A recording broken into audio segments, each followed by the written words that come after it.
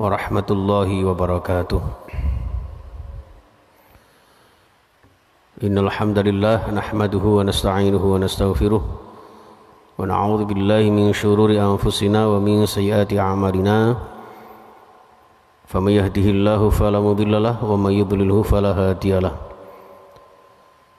أشهد أن لا إله إلا الله وحده لا شريك له وأشهد أن محمدا عبده ورسوله لا نبي ولا رسول بعده اللهم صل وسلم وبارك على سيدنا محمد وعلى آله وأصحابه وموالاه ولا حول ولا قوة إلا بالله أما بعد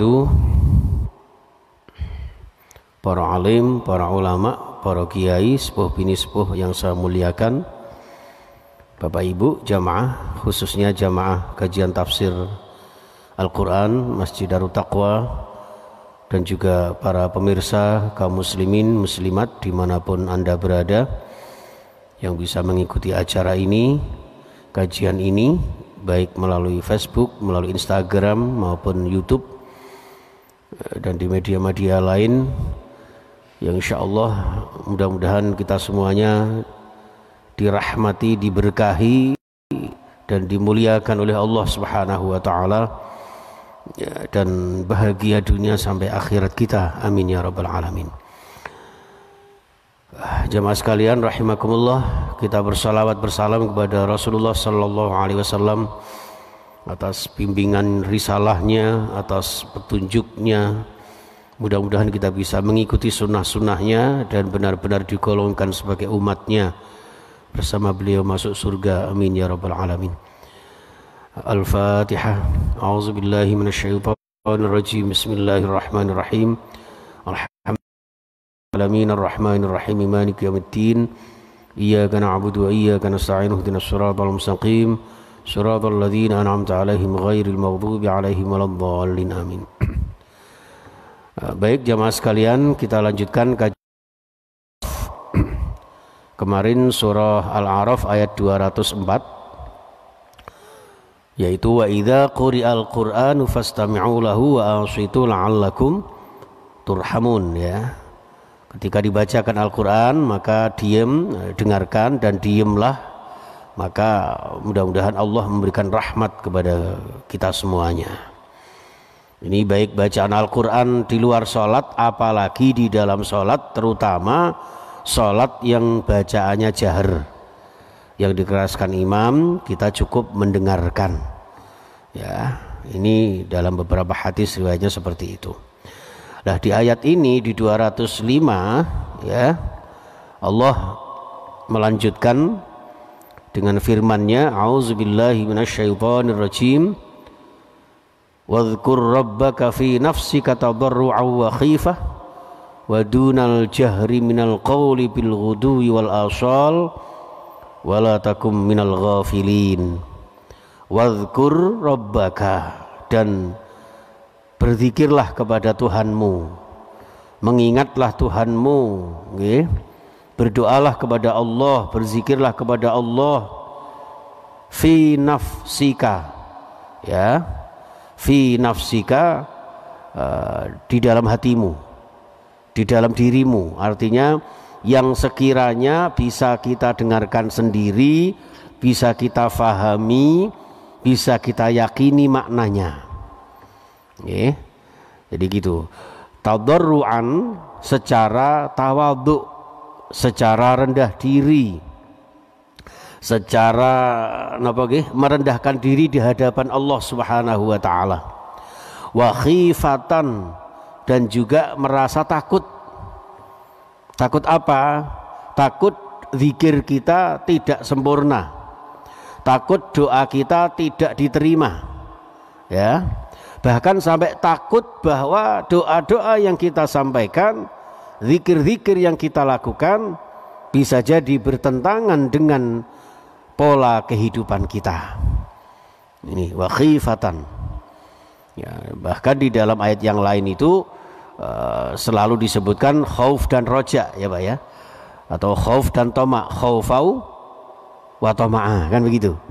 Kita merasa takut, merasa khawatir jangan-jangan ibadah kita ini tidak sempurna bahkan tidak diterima karena ada unsur riaknya ada unsur ujubnya ya membanggakan diri dengan perbuatan kita amal-amal kita lah itu yang kemudian bisa jadi amal kita ini tidak sempurna bahkan tidak diterima. Naudzubillah min zalik. Khaufa. Lah kalau sudah begitu maka toma'ah. Toma'ah itu sangat-sangat berharap. Sangat-sangat berharap agar ibadah kita diterima, agar doa kita dikabulkan Allah Subhanahu wa taala, agar hajat kita dimudahkan Allah Subhanahu wa taala. Itu toma'ah. Nah, maka di dalam doa ini kemudian di, dilanjutkan wadunal jahri minal qauli. Nggih, wadunal jahri niku makna aslinya duna niku sangi sore. Di bawahnya banter. Bukan berarti tidak bersuara. Bersuara tapi jangan keras-keras. Dunal jahri sangi sore banter sangi sore keras ya. Minal qawli dalam ucapan kita berzikir karena zikir itu kan ada qauliyah, ada kolbiyah, ada af'aliyah. Zikir qauliyah itu seperti ya kata panjenengan nek tahlil ngoten niku. La ilaha illallah, la ilaha illallah. Itu dunal jahri minal qaul. Subhanallah, alhamdulillah. Itu dunal jahri. Cara bahasane wong Surabaya ojo banter-banter. Gitu. Dunal jahri minal qaul. Terus nggih, nggih sedang-sedang saja Jangan sampai teriak-teriak seperti itu tidak. Ya. Ayat ini kan diturunkan ketika pada masa itu Pak ya. Ada sahabat itu kalau doa itu teriak-teriak Pak ya. Teriak-teriak sampai banter gitu ya. Sampai kemudian turun ayat wa idza sa'alaka ibadi anni fa inni qarib. Kalian itu berdoa itu jangan banter-banter. Ketika Allah ditanya di mana Allah itu berada, wa idza sa'alaka ibadi fa inni qarib.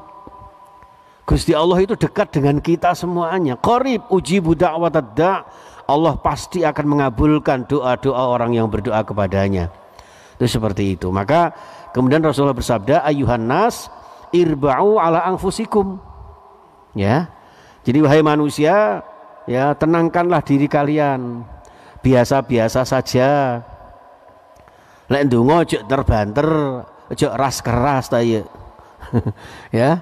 Jadi biasa-biasa saja, tenang-tenang saja. Fa innakum la tad'una asamma wala ghaiban. Kalian itu berdoa kepada Tuhan yang tidak tuli. Walaupun pelan-pelan tapi insya Allah Allah mendeng, mendengar. Wala ghaiban dan juga kalian ini tidak berdoa kepada Tuhan yang tidak ada. Karena Tuhan itu ada di depan kita, ada di dekat kita ketika kulon jenengan berdoa walaupun pelan-pelan bahkan di dalam hati Allah insya Allah sami'un alim. Allah maha mendengar, Allah maha mengetahui. Itu seperti itu, Pak. Ya. Maka innalladzi tad'unahu sami'un qarib. Sesungguhnya Allah itu ketika ada orang yang berdoa itu sami'un qarib, ya maha mendengar, ya mendekati. Korib itu sangat dekat Pak. Jadi ketika kula jenengan berdoa dalam kondisi apa pun juga itu Allah kemudian akan mendekati kita semuanya. Wadunal jahri minal qauli ya dari ucapan-ucapan kita. Makanya jenengan nek istighosah nggih istighosah nopo zikir bersama atau nopo lah namanya. Kalau bisa jangan keras-keras pelan-pelan yang baik. Apalagi sampai di ngapunten mungkin ada yang nek gak nong pengeras suara niku mboten mboten apa ya istilahnya? Mboten puas gitu ya. Itu ibadah itu jangan main perasaan. Tapi adalah dasarnya benar apa tidak gitu ya kecuali kalau memang harus membutuhkan pengeras misalnya jamaah panjenengan banyak ya maka yang belakang supaya mendengar nanti bisa mengikuti doa zikir kita Eh, kalau tidak kemudian di pengeras suara, ya kalau tetangganya tidak ada yang terganggu. Kalau terganggu Pak, takutnya nanti doa yang begitu indah yang yang kita bacakan itu justru sia-sia karena ada doa orang lain yang merasa terganggu itu, yang merasa teraniaya, terzolimi dari doa kekerasan itu, ya doa yang suaranya keras itu, kemudian membuat doa kita tertolak. Ngoten. Terus impas akhirnya. Nggih, dungane apik, zikir apik, tapi ganggu wong mboten apik, akhire napa? Impas mangane dungane bisa jadi jangan-jangan doa kula jenengan tidak dikabulkan, zikir kula jenengan tidak mengena di dalam kehidupan, jangan-jangan cara zikir doa kula jenengan perlu perbaikan. Ngoten perlu kita renungkan. Ngoten. Jadi tidak tidak salah kula jenengan zikir doa istighosah niku tidak salah. Cuman monggo caranya diperbaiki. Di sini jelas sekali wala apa itu uh, dunal jahri kan ngaten. Wa dunal jahri minal qauli. Nah tegene surah Al-Isra ayat 110 itu Pak ya. Wala tajhar bi sholatika wala tukhafid biha wa bataghi baina dzalika sabila. Nek salat ojo terbanter gitu. Eh, wala tajhar bi sholati wala khafit tapi juga jangan sampai tidak ada suaranya sama sekali ya sing sekiranya bisa didengar awake dhewe itu seperti itu. Ya sholatika itu juga bisa diartikan doa jamaah sekalian. Baik uh, di sini lanjutannya bil gudui wal asol bil gudui itu maksudnya adalah uh, di waktu pagi karena ada zikir-zikir pagi hari ya Pak ya. Yang panjenengan mengenal dengan al-maksurat ada juga doa-doa pagi yang yang lain itu monggo setiap artinya zikir kula jenengan itu bil gudui wal asal. Ya baik waktu pagi maupun waktu petang hari. Wah di sini ada yang menafsirkan bukan dan tapi ila. Jadi mulai pagi sampai sore hari. Nanti sore sampai pagi hari. Selama kulon jenengan masih bisa bernafas selama kulon jenengan masih dalam keadaan sadar usahakan kita selalu berzikir kepada Allah. Maka tiang torekoh niku pak nafasnya selalu Allah Allah Allah gitu. Ada lagi yang ya Allahu ya Allahu ya Allahu karena saking cepatnya kemudian disingkat Yahu Yahu Yahu gitu. Itu nek kulon jenengan buatan patek miring malah kerungune tahu tahu tahu. Wah, ini bisa berbahaya nanti ya. Ini jadi uh, bil wal asal ini dalam konteks spesifikasinya adalah ada zikir pagi, ada zikir sore. Zikir pagi yang kita baca insya Allah menyelamatkan kita seharian itu Zikir sore yang kita baca insya Allah menyelamatkan kita semalam yang kita lakukan Termasuk ketika tidur di malam hari Ngeten. Ah, tapi ini juga dimaknai bahwa zikir kulon jenengan mulai pagi sampai sore, sore sampai pagi selalu. Makanya di dalam Islam itu ada doa-doa masuk kamar mandi, ada doa mau makan, selesai makan, mau tidur bangun tidur itu artinya kita selalu berzikir kepada Allah Nggih, selalu berzikir kepada Allah itu itu. Wal asal wala takum minal ghafilin. Wala takun dan janganlah uh, kalian menjadi minal ghafilin. Nggih termasuk orang-orang yang ghafil. Ghafil itu lupa lalai. Lupa lalai itu begini, satu bisa jadi lupa zikir kulon jenengan. Zikirin eling, maca istighfar nek kesandung. Kesandung jebret astagfirullah, nggih. Niku masih mending. Ana sing kesandung jebret malah daftar kebun binatang misalnya. Itu masih mending itu astagfirullah. Tapi yang paling ideal, yang paling bagus adalah istighfar setiap saat, setiap waktu, zikir setiap saat, setiap waktu. Itu seperti itu. Itu maknanya ghafil yang pertama. Yang kedua yang tidak kalah pentingnya makna ghafil itu adalah zikir doa yang kita bacakan yang kita panjatkan kepada Allah Subhanahu wa taala itu jangan hanya di bibir saja. Kenapa? Karena Allah tidak menerima doa orang yang ala qalbin ghafilin yang hatinya lalai, lesanya mengucapkan tapi hatinya melupakan. Ya Allah ya Qadim ya Allah ya Qadim misalnya ya, itu bagus ucapannya itu ya Latifu ya Latif ya Latifu ya Latif. Nah, terus ditakoni maknanya apa bu? Garo lah ini ki. Ya? Itu yang eh, yang kemudian menjadi guyonan itu kan pak ya? Ya Allah ya Qadim itu kan ya Allah yang maha yang maha dahulu. Jadi supaya Allah mempercepat mengijabahi doa-doa kita. Gitu maksudnya kiai kita dulu seperti itu. Itu ijtihadnya para ulama bahwa dengan wiritan ya Allah ya Qadim Allah mempercepat mengijabahi doa kulon jenengan, mempermudah hajat-hajat kulon jenengan. Nah, ketika nggak tahu maknanya kan susah nanti pak, ya kan? Ya Allah ya Kodim, ya Allah ya Kodim lah. Akhirnya sing korim ya protes pak. Kita mau sih disebut kok kodim ya lah, korime kapan? Akhirnya orang nyebutnya ya Allah ya Kodim, ya Allah ya Korim, wah susah nanti. Ya, ini lama-lama ya Allah ya Kodam, ya Allah ya Kodam. Ini gara-gara tidak tahu ar artinya. Sehingga kalau kalian jenengan berdoa itu usahakan wala takum minal ghafilin. Jangan sampai tidak tahu maknanya, tidak tahu artinya. Eh, ini termasuk kalau di dalam surah Al-A'raf ya di eh, selanjutnya itu termasuk orang-orang yang yang tidak bisa diijabah doanya, tidak di uh, apa itu di, tidak diterima zikirnya itu wala takum minal ghafilin.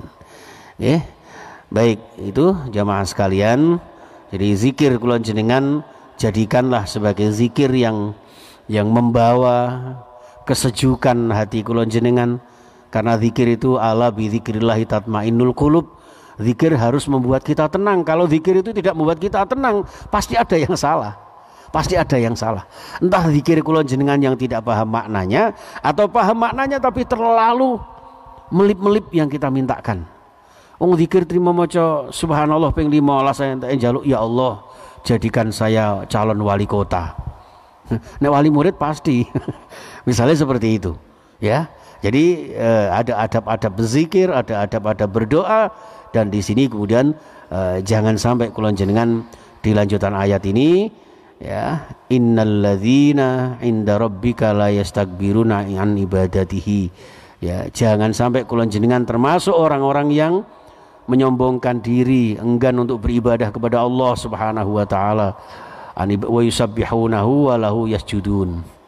Jadi orang-orang yang kemudian tidak menyombongkan diri kepada Allah orang-orang yang selalu menyembah kepada Allah orang-orang yang menghambakan diri tawaduk kepada Allah. Wa yusabbihunahu selalu bertasbih kepadanya. Bertasbih itu bisa diartikan membaca tasbih subhanallah subhanallah subhanallah. Okay. bisa diartikan yusabbihunahu itu menyucikan asma Allah dari hal-hal yang menjadi benalu-benalu akidah. Ya dari kemusyrikan. Allah itu maha suci dari sekutu-sekutu yang di yang dilontarkan yang diyakinkan oleh orang-orang musyrik. Wa yusabbihunahu. Walahu yasjudun. Dan kepada Allah lah orang-orang beriman selalu bersujud. Salat ya. Salat wajib khususnya salat berjamaah lebih utama. Dan sempurnanya ditambah lagi dengan salat-salat sunnahnya. Ini yang dimaksud dengan walahu yasjudun. Ayat ini termasuk ayat sajdah. Eh, kita dianjurkan untuk sujud tilawah. Ya apa Pak? Nek sekali-sekali ini kita baca, setelah itu kita sujud tilawah gitu ya. Saya kok kepingin melakukan itu Pak. Cuman takutnya nanti ketika kita sujud tilawah, yang jamaah orang yang nggak biasa di sini bingung. Iki sujud opo? Ya, Jangan-jangan malah seperti ceritanya itu ada seorang imam yang sujud tilawah gitu. Karena banyak makmum yang tidak tahu akhirnya malah dibacakan subhanallah. Disangka no imame lali. Padahal ini maksudnya sujud sujud tilawah. Lo kuno nazilah aja itu loh pak. Kadang-kadang masih ada yang ada yang bablasan ya pak ya. Itu apalagi sujud tilawah. Nah untuk itu kadang-kadang kalau sampai di ayat asajidah bapak ibu kita kalau ngimami saya kasih jeda waktu agak lama. Untuk apa? Di dalam hati gantinya sujud tilawah minimal membaca subhanallah walhamdulillah wala ilaha illallah wallahu akbar. Tiga kali la haula wala quwata illa billahil alil azim. Itu sunahnya seperti itu. Ada di surah apa itu? Iqra itu ya al-alaq. Wasjud waqtarib misalnya seperti itu itu dibiasakan ada beberapa ayat di Al-Qur'an itu yang dimaksud yang di yang di apa itu dikhususkan sebagai ayat as-sajdah yang kita dianjurkan untuk sujud tilawah atau minimal membaca tasbih tiga kali. Okay. Baik, seperti itu. Kurang dan lebihnya mohon maaf yang sebesar-besarnya. Mudah-mudahan kajian kita pagi hari ini mendapat rahmat Allah Subhanahu wa taala. Uh, saya juga mohon maaf kepada para jamaah sekalian, mungkin ada kekhilafan, kesalahan kata saya, termasuk juga para pemirsa, okay? mungkin panjenengan yang merasa tersakiti dari perilaku saya, dari kata-kata saya melalui forum ini saya mohon maaf dengan segala kerendahan hati saya ya, karena saya memang banyak salah banyak dosanya mohon maaf semuanya okay? Jadi eh, mungkin ada keplecuknya saya ada khilafnya saya. Uh, saya karena banyak dosanya mohon maaf yang sebesar-besarnya. Dan Allah Subhanahu wa taala mudah-mudahan mengampuni dosa-dosa kita, memberikan petunjuk kepada kita semuanya. Melalui kajian ini kita sama-sama saling mengingatkan. Bukan saya menggurui kepada uh, para pemirsa tidak kepada panjenengan tidak. Kita saling berbagi sharing ilmu mudah-mudahan sama-sama dirahmati Allah. Nggih mendapat barokah Allah hidup tidak lama. Saya ini aja sudah sakit-sakitan Pak. Sudah sakit-sakitan. Padahal umur belum sampai 50 Masya Allah. Jadi mudah-mudahan umur yang singkat ini mudah-mudahan senantiasa diberikan sehat walafiat oleh Allah diberikan barokah oleh Allah sehingga hidup kita nanti diberi umur panjang. Alhamdulillah memperbanyak amal soleh.